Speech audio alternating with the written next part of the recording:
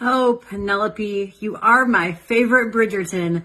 Here we go. Springs, this look is for you. Penelope does a great job of giving us a bold, fresh spring look. Now, springs, you guys get to go a little bit more dramatic on your eyes and your cheeks and your lips. So have some fun please, for us muted summers, please springs, have a little bit of fun. So we're going to keep this warm for you today. We've got biscotti up here by the eyebrow. We've got candlelight right down through here.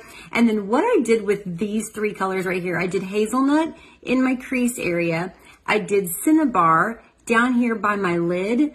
But then I took Shiny Penny like a ColourPop and I went all over to give us that warm, shiny vibe that season three Penelope absolutely brought it with. And then I've got espresso as my eyeliner, but then really kind of smoked up. I used this smudger brush when that to give it like a nice dramatic lash line. Now, something cool I did with the cheeks. We've got Juicy Peach and Hot Coral. I actually used Hot Coral as my contour. So right on the bottom part of my cheekbone, I took my cheek brush and cut in with that hot coral and then popped it with Juicy Peach. And then on lips, I've got Poppy Please and Copper Aura and it is a fresh spring vibe.